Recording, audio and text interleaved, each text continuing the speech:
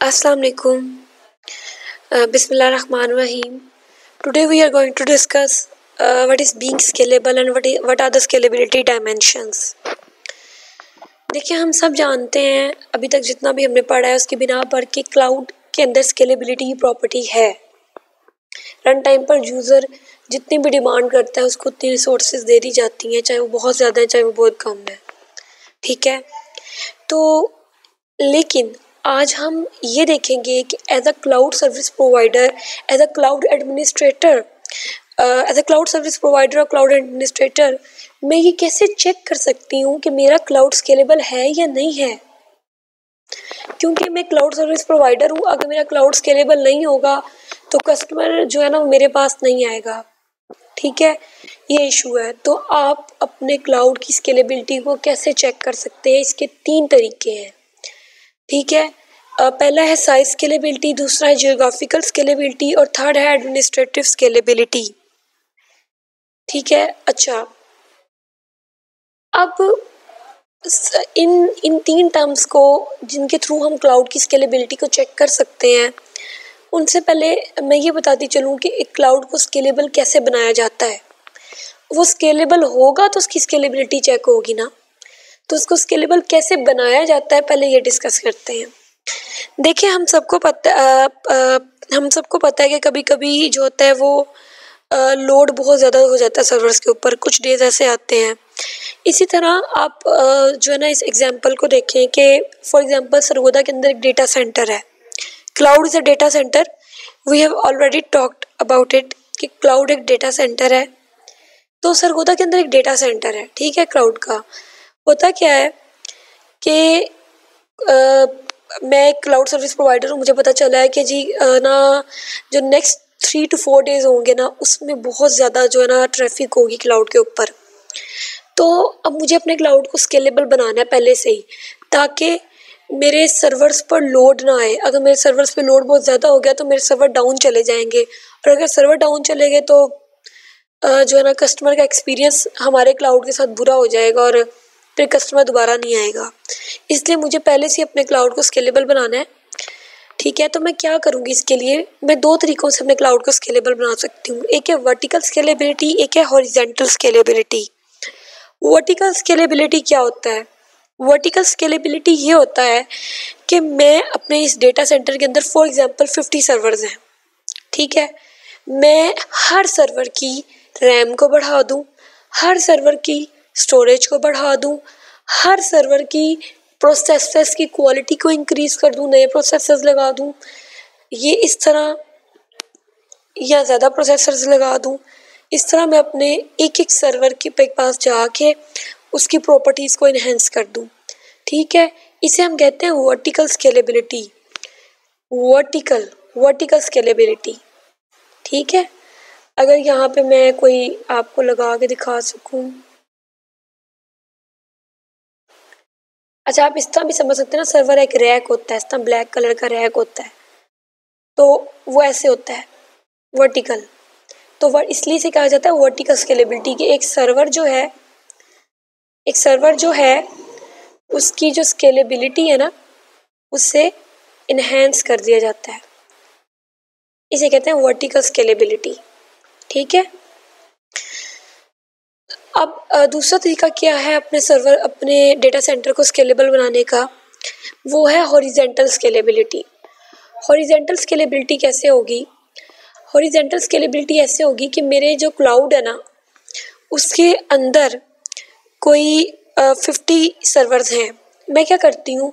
मज़ीद बीस सर्वर्स उठा के अपने डेटा सेंटर के अंदर ले आती हूँ और उन्हें अपने डेटा सेंटर के अंदर लगा देती हूँ। इसे हम कहते हैं हॉरिजेंटल स्केलेबिलिटी अच्छा इन दोनों में से बेटर कौन सी है?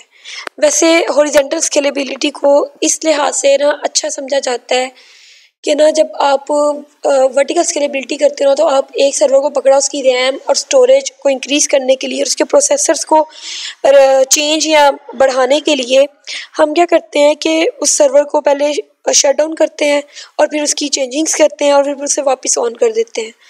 तो आप, लेकिन जब आप हॉरिजेंटल स्केलेबिलिटी करते हो तो आपको किसी भी सर्वर को छेड़ना नहीं पड़ता। आपने बस नए सर्वर लाने हैं और उन्हें लगा देना है। ये कहने में आसान है, आगे हम इस पर डिस्कशन करेंगे। लेकिन इस लिहाज से हॉरिजेंटल स्केलेबिलिटी को ज़्यादा अच्छा समझा जाता है, ठीक है? और हम जो यहाँ पे स्केलेबिलिटी मैयर करने के तीन तरीके देखेंगे, इन्हें भी हम हॉरिजेंटल स्केलेबिलिटी के लिहाज से देखेंगे। कि as a cloud service provider मैंने क्या किया? हॉरिजेंटल स्केलेबिलिटी की अप्रोच को पकड़ा और जो मेरा सरगोदा के अंदर डेटा सेंटर था, उसमें मज़ीद ट्वेंटी सर्वर्स ला के मैंने रख दिए। ठीक है? अब मैं अपने क्लाउड की स्केलेबिलिटी को कैसे चेक करूँगी? तो इसे देखते हैं। ठीक है? लेट्स गेट स्टार्ट पहला है साइज़ स्केलेबिलिटी ठीक है? साइज़ स्केलेबिलिटी में हमारे पास क्या होता है? Can easily add more users and resources noticeable loss of performance storage capacity including the input output transfer rate the server group of servers can simply become a bottleneck it needs to process an increasing number of requests मैंने एक ही दफ़ा में सारी English बोल दी लेकिन मैं समझाती हूँ अभी है क्या साइज़ स्केलेबिलिटी कैसे चेक की जाती है एक सिंपल वर्ड्स में समझाती हूँ देखिए जब मैं अपने डेटा सेंटर के अंदर नए सर्वर्स को लेके आई हूँ ठीक है तो अब मुझे उन नए सर्वर्स की कॉन्फ़िगरेशन तो करनी करनी है। ठीक है? और उन्हें एग्जिस्टिंग जो मेरे पहले से मौजूद सर्वर्स हैं, उनके साथ उनकी नेटवर्क जो मैं नए लेकर आई हूँ सर्वर्स और जो मेरे पहले से ही सर्वर पड़े हुए हैं, उनकी मैंने आपस में नेटवर्किंग भी करनी है। ठीक है? अब उनके, अब जो मेरे नए सर्वर्स आए हैं, उनकी कॉन्फ़िगरेशन करनी है, और पहले से मौजूद सर्वर्स और नए सर्वर्स की आपस में जो है ना मैंने नेटवर्किंग भी करनी है। ये दो काम मैंने करने हैं। बहुत से काम होते हैं, लेकिन मेन ये दो ही काम है। तो मैंने ये काम करने हैं तो इन दो कामों, इन कामों को मैं करूँ, कर रही होंगी जिस टाइम। उस टाइम मेरे जो बाकी सर्वर्स हैं, उनकी परफॉर्मेंस पे कोई असर ना पड़े। यानी मेरे बाकी सर्वर्स जो है ना, वो सरगोदा के बाकी यूज़र्स को फैसिलिटेट कर रहे हैं। तो वो उन्हें वैसे ही फैसिलिटेट करें जैसे पहले कर रहे थे। यानी रिस्पॉन्स टाइम में कोई फ़र्क ना आए, कोई फ़र्क ना आए रिस्पॉन्स टाइम में। और जो है ना आउटपुट ऐसे ही उन्हें फ्लेक्सिबल तरीके से और जो है ना, अच्छे से रिस्पॉन्स मिलता रहे। कोई भी जो है ना, देर ना हो, कि रिस्पॉन्स आने में देर ना हो या सर्वर डाउन जा रहा है, ऐसा कोई मैसेज अपेयर ना हो।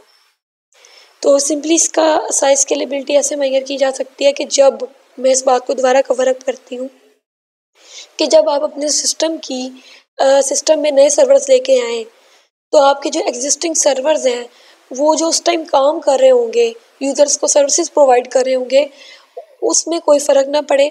वो जिस स्पीड से पहले सर्विसेज़ प्रोवाइड कर रहे थे, उसी स्पीड से अब सर्विसेज़ प्रोवाइड करें। क्योंकि जब आप पहले से मौजूद सर्वर्स और नए सर्वर्स की आपस में नेटवर्किंग कर रहे होंगे और उन नए सर्वर्स की कन्फिग्रेशन कर रहे होंगे तो ये इशू आ सकता है कि जो सर्वर्स पहले से मौजूद हैं, उनकी यूज़र के, उनकी वो सर्विस प्रोवाइड करने में थोड़ा लेट लेट रिप्लाई दें यूज़र को। तो ऐसा नहीं होना चाहिए। अगर ऐसा नहीं होता हमारा सिस्टम इस तो इसका मतलब है कि जो मेरा सिस्टम है उसमें साइज़ स्केलेबिलिटी है। मेरा सिस्टम साइज़ के लिहाज से स्केलेबल है। ठीक है? आ, मैंने बहुत लंबी तमहीद बाँध दी है लेकिन आई होप्स आप लोगों को समझ आ गई होगी। नेक्स्ट है हमारे पास जियोग्राफिकल स्केलेबिलिटी जियोग्राफिकल स्केलेबिलिटी क्या होता है? जियोग्राफिकल स्केलेबिलिटी ये होता है कि अच्छा एक बात आप लोगों के माइंड में आती होगी, आएगी शायद, कि मैं अपने डेटा सेंटर के अंदर मज़ीद बीस सर्वर उठा के ले आई। और अगर मेरे डेटा सेंटर के अंदर जगह ही ना हो तो फिर मैं क्या करूँगी? ये भी एक मसला है। तो इस, इसके लिए मैं क्या करूँगी कि मैं या तो एक अलग से डेटा सेंटर जो है ना, उसमें नए सर्वर्स बनाऊँगी और उसके अंदर मैं सर्वर्स लगाऊँगी। ठीक है? एक ये एक ये हल है इसका, ठीक है? तो इसका मतलब है कि हमारे डेटा सेंटर्स जो हैं, उन्हें स्केलेबल बनाने के लिए हम नए डेटा सेंटर्स भी बना सकते हैं, ठीक है? तो अब बात यहाँ पर ये आती है कि जोग्राफिकल स्केलेबिलिटी में कि अगर मेरे सिस्टम में नए नोड्स आए हैं, ठीक है? तो ये जो नए नोड्स आए हैं, इन, इनके साथ जो है ना, मेरे एग्जिस्टिंग सर्वर्स की जो कम्युनिकेशन है, वो बहुत अच्छे से हो, कोई मुश्किल ना पेश आए। नए सर्वर्स की और पुराने सर्वर्स की आपस में कम्युनिकेशन इजीली हो जाए, कोई मुश्किल ना पेश आए, ये लोग आपस में ठीक से कम्युनिकेट करें। ठीक है, अगर एक ही डेटा सेंटर के अंदर सर्वर्स हैं, अगर मैंने कोई नया डेटा सेंटर बना के उसके अंदर सर्वर्स लगा दिए हैं, चूँकि दोनों डेटा सेंटर्स एक दूसरे से फासले पर होंगे, तब भी इनकी जो कम्युनिकेशन है, उसमें कोई जो है ना वो डिलेज ना आए या उनकी कम्युनिकेशन बहुत स्मूथली हो जाए, कम से कम डिलेज आए और, जो है ना, क्योंकि जब इनकी कम्युनिकेशन स्मूथली होगी, उसमें डिलेज कम होंगे, जब ये आपस में कम्युनिकेट अच्छे से करेंगे तो यूज़र को फैसिलिटेट भी उसी लिहाज से जल्दी करेंगे। ठीक है? अच्छा इन्हें आपस में कम्युनिकेट करना क्यों पड़ता है? मैंने लास्ट लेक्चर में बताया था कि हमारी जो फाइल्स होती हैं ना, उसका चंक जो होते हैं वो डिफरेंट सर्वर्स पे सर्वर्स पे पड़े होते हैं। तो जब फ़ाइल के चंक्स को इकट्ठे किया जाता है तो सर्वर्स आपस में कम्युनिकेट करते हैं, या अगर एक सर्वर पे बहुत ज़्यादा लोड आ गया तो दूसरे सर्वर पे लोड को हैंड ओवर कर देता है। ठीक है? लोड या हमने लोड बैलेंसिंग का कोई प्रोग्राम लगाया हुआ था तो वो सर्वर्स के दरमियान लोड को बैलेंस कर देता है। तो जिन, जब भी इन सर्वर्स को आपस में कम्युनिकेट करने की ज़रूरत पड़े तो इनकी कम्युनिकेशन में अगर कोई भी इशू नहीं आ रहा तो मैं कहूँगी कि मेरा जो सर, मेरा जो डेटा सेंटर्स हैं वो जियोग्राफिकली डिस्ट्रीब्यूटेड है। और सॉरी सॉरी टू से जियोग्राफिकली स्केलेबिलिटी है इनके अंदर, ठीक है? अब बात ये है कि देखें, यहाँ पर ना बात की जा रही है सिंक्रोनियस कम्युनिकेशन की। सिंक्रोनियस कम्युनिकेशन वो होती है जिसमें हमें जब तक एक्नॉलेजमेंट नहीं आती, तब तक हम अगला पैकेट सेंड नहीं करते। अच्छा मैं आपको एक बात बताती हूँ। जब हम ए, मैंने यहाँ पर दो स्टडीज़ बताए हैं आपको जियोग्राफिकल स्केलेबिलिटी के अंदर कि यहाँ तो मैं अपने उसी डेटा सेंटर के अंदर जब नए सर्वर्स लेकर आऊँगी तो एग्जिस्टिंग सर्वर्स और नए सर्वर्स की कम्युनिकेशन में जो है ना वो इश्यूज़ ना आए। अगर इश्यूज़ नहीं आते तो हम कहते हैं कि हमारा सिस्टम जियोग्राफिकली स्केलेबल है। और दूसरा मैंने ये बताया है कि अगर मेरे अगर मेरे मैं नए सर्वर्स अपने किसी दूसरे डेटा सेंटर के अंदर रखती हूँ ठीक है तब भी जो है ना इनकी कम्युनिकेशन जो है, उसमें फ़र्क नहीं आना चाहिए। ज़ाहिर सी बात है, दोनों डेटा सेंटर एक दूसरे से दूर होंगे। ठीक है? तो अब यहाँ पे सिंक्रोनियस कम्युनिकेशन की बात इसलिए की गई है कि दोनों डेटा सेंटर्स जब एक दूसरे से दूर होंगे तो वो ओवर द इंटरनेट एक दूसरे के साथ कम्युनिकेट करेंगे। ठीक है? तो लेकिन जब वो एक ही डेटा सेंटर के अंदर होंगे ना तो मैक एड्रेस पे भी कम्युनिकेशन हो सकती है। हम पढ़ते हैं ना कि लैन के अंदर तो मैक एड्रेस से भी कम्युनिकेशन हो जाती है। जब लैन के अंदर टोपोलॉजीज लगी होती हैं, वायर्स के थ्रू कम्युनिकेशन हो जाती है, लेकिन वाइड एरिया नेटवर्क में हम इंटरनेट के थ्रू ही कम्युनिकेट करते हैं। जब दोनों से डेटा सेंटर एक दूसरे से दूर होंगे तो इंटरनेट के थ्रू एक दूसरे से कम्युनिकेट करेंगे तो हो सकता है पैकेट लॉस हो जाए। इसलिए सिंक्रोनियस कम्युनिकेशन को यूज़ किया जाता है। दूसरी बात यह है कम्युनिकेशन डिलेस में भी सिग्निफिकेंट इज़ हार्डली नोटिस कि कम्युनिकेशन डिलेस थोड़े आते हैं, पर आते ज़रूर हैं। क्योंकि इंटरनेट के ऊपर हम कम्युनिकेट कर रहे हैं। In contrast local India network often support efficient broadcasting mechanisms देखें, जो हमारे लोकल एरिया नेटवर्क है ना, वो जियोग्राफिकली ज़्यादा स्केले जो सॉरी जियोग्राफिकली कह रही हूँ, जो हमारे लोकल एरिया नेटवर्क है ना, उनके अंदर जो हमारी कम्युनिकेशन है ना, वो ज़्यादा अच्छी होती है। ठीक है? क्योंकि वो ज़्यादातर ओवर द इंटरनेट कम्युनिकेट नहीं करते। वो एक, अगर ओवर द इंटरनेट भी कम्युनिकेट करें तो चूँकि वो एक ही एक ही एक ही रूम के अंदर हैं, एक ही जगह पर हैं तो उनकी कम्युनिकेशन ज़्यादा अच्छी हो जाती है। तो कम्युनिकेशन के लिहाज से जो है ना, वो लोकल एरिया नेटवर्क ज़्यादा अच्छे हैं। ठीक है?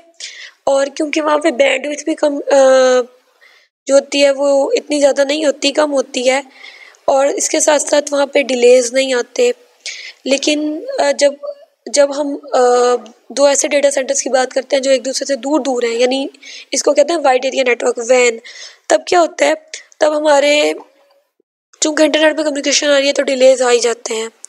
तो ये इशू है। इसलिए कहा जाता है कि लोकल एरिया नेटवर्क जो है वो आ, इस लिहाज से ज़्यादा बेहतर है। ठीक है? उनकी कम्युनिकेशन ज़्यादा अच्छी होती है। अब बात करते हैं एडमिनिस्ट्रेटिव स्केलेबिलिटी की। देखें एडमिनिस्ट्रेटिव स्केलेबिलिटी क्या होता है? अगर तो मैंने अपने डेटा सेंटर के अंदर मज़ीद सर्वर्स ला के रख दी हैं तो मेरी जो एग्जिस्टिंग मैन पावर है, जो मेरे एग्जिस्टिंग एडमिनिस्ट्रेटर हैं, वही उन्हें अगर मैनेज कर लेते हैं, मेरे नए सर्वर्स को भी मैनेज कर लेते हैं तो मैं कहूँगी कि मेरा सिस्टम जो है एडमिनिस्ट्रेटिव एडमिनिस्ट्रेटिवली स्केलेबल है। ठीक है? और अगर दो डेटा सेंटर्स दूसरे डेटा सेंटर्स में मैंने सर्वर्स ला के रखे हैं तो ये है कि यहाँ से कोई एडमिनिस्ट्रेटर जाके उन्हें संभाल ले, या मुझे अगर एडमिनिस्ट्रेटर की ज़रूरत भी पड़े तो किसी एक दो एडमिनिस्ट्रेटर की ज़रूरत पड़े, ज़्यादा एडमिनिस्ट्रेटर की ज़रूरत ना पड़े। ठीक है, मेरी एग्जिस्टिंग मैन पावर ही यूज़ हो जाए, या मुझे अगर ज़रूरत भी पड़े तो किसी एक दो की पड़े, ज़्यादा की ना पड़े। तो इससे हम कहते हैं कि मेरा जो सिस्टम है वो एडमिनिस्ट्रेटिवली स्केलेबल है। अच्छा नेक्स्ट आता है, ये एक प्रॉब्लम है। देखें, अगर मैं जो हूँ, वो पाकिस्तान में रहती हूँ और एक डेटा सेंटर पाकिस्तान में दूसरा साउथ अफ्रीका में। साउथ और मुझे जो सर्विस चाहिए ना, वो साउथ अफ्रीका वाले सर जो है ना सर्वर है, उसके ऊपर है। लेकिन मैं उसको एक्सेस नहीं कर सकती क्योंकि जो साउथ अफ्रीका वाले सर्वर डाटा सेंटर्स हैं साउथ अफ्रीका की जो पॉलिसीज़ हैं, वो चेंज है, जो उनकी करेंसी है, वो चेंज है मैनेजमेंट की चीज़ें चेंज हैं। ठीक है उनकी हर चीज़ चेंज है। और मैं पाकिस्तान में बैठी हूँ तो पाकिस्तान के डेटा सेंटर की जो मैनेजमेंट होगी जो पेमेंट होगी जो रिसोर्सेज होंगी वो चेंज होंगी। लेकिन इस तरह मुझे उन्हें एक्सेस करने में बहुत प्रॉब्लम आएगी। तो इसका सोल्यूशन क्या है? इसका सोल्यूशन है कंप्यूटेशनल ग्रिड अब ग्रिड क्या होता है इसे हम नेक्स्ट लेक्चर में अच्छे से पढ़ेंगे। लेकिन आ, इस इससे ये हो सकता है कि मैं यहाँ बैठी हुई हूँ पाकिस्तान के अंदर और मैं क्या कर सकती हूँ? साउथ अफ्रीका में मौजूद जो रिसोर्सेज है ना, उन्हें एक्सेस कर सक, उन्हें यूज़ कर सकती हूँ। कैसे? कि जो मेरे यहाँ डेटा सेंटर में मौजूद ए है। Allowing program running on a computer at organization A to directly access resources at organization B कि जो यहाँ का जो डेटा सेंटर है, वो साउथ अफ्रीका के डेटा सेंटर में से वो सर्विसेज़ लेगा, उनके सर्वर से यहाँ लेके आएगा और मुझे प्रोवाइड करेगा। तो ये है इसका सोल्यूशन और ग्रिड क्या होता है? ऐसे हम नेक्स्ट लेक्चर में अच्छे से पढ़ेंगे, जो हमारा नेक्स्ट लेक्चर है, वो ग्रिड कंप्यूटिंग पे ही है। तब आपको इस बात की ज़्यादा समझ आएगी। अभी ये लेक्चर थोड़ा लंबा हो जाएगा, इसलिए मैंने इसको यहाँ पे ख़त्म किया है। अगर आपको कोई बात समझ ना आए तो आपने कमेंट करना है, और अगर मेरी वीडियो पसंद आए तो आपने इसको लाइक करना है, और मेरे चैनल को सब्सक्राइब करना है, और इसे शेयर भी करना है। अल्लाह हाफिज़।